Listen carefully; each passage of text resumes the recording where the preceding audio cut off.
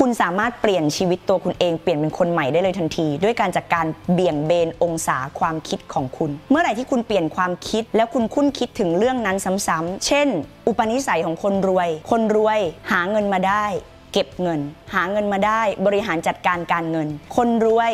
ได้เงินมาก่อนที่จะซื้ออะไร เขาจะคิดถึงความคุ้มค่าโอเค เราจะเปลี่ยนความคิดเราแล้ว เมื่อก่อนกิเลสเกิด อยากได้อะไรอยากซื้ออะไรซื้อเลยอ๋อนิสัยคนรวยความคิดคนรวยคือ ก่อนจะซื้ออะไรเขาจะคิดถึงความคุ้มค่างั้นเราจะอดใจคิดแป๊บหนึ่งว่า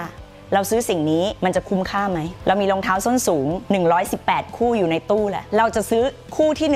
119 เพียงเพราะว่ารองเท้าที่มีในตู้มันไม่มีโบตรงข้อเท้าเลยค่ะ ปกติมันมีโบอยู่ด้านหน้าตรงแหลมๆอะค่ะ แต่หนูยังไม่มีเอ่อรองเท้ารุ่นที่มีโบอยู่ตรงข้อเท้าเลยค่ะ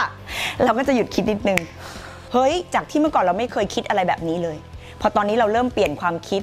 เรามีสติเราหยุดยั้งตัวเองได้ การเงินเราเปลี่ยน ทนที่เราจะชักเงินออกจากกระเป๋าเราเร็วขึ้น เอ้ย เรามีการ slowly ควักเงินออกจากกระเป๋าเราช้าลง คุณคิดมากขึ้น สุดท้ายพอเราไม่ซื้อปุ๊บเฮ้ยเราเอาเงินไปใช้อะไรที่มันเป็นประโยชน์มากขึ้นดีกว่าไหม เอาไปลงทุนอะไรดี อันนี้คือการเปลี่ยนความคิดจากที่เมื่อก่อนไม่คิดเลย ไม่มีใครสอนเราได้นะลูกนอกจากเราสอนตัวเอง เราสอนตัวเองให้คิดแบบใหม่